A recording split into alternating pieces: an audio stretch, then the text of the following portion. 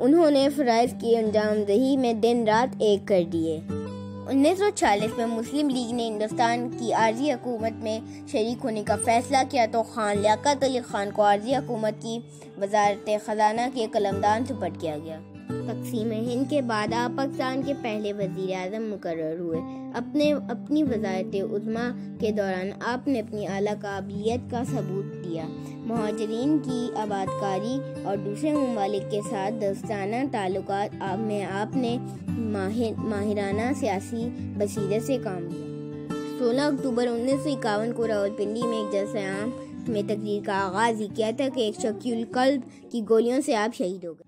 अपनी ज़िंदगी में कायद मिलत के लकब से मशहूर हुए हुए शहादत के बाद शहीद मिलत के नाम से पुकारे जाने लगे। अगर आपको मेरी वीडियो पसंद आई हो तो लाइक कीजिएगा सब्सक्राइब कीजिएगा और बेल के ऑप्शन पर क्लिक करना मत भूलिएगा।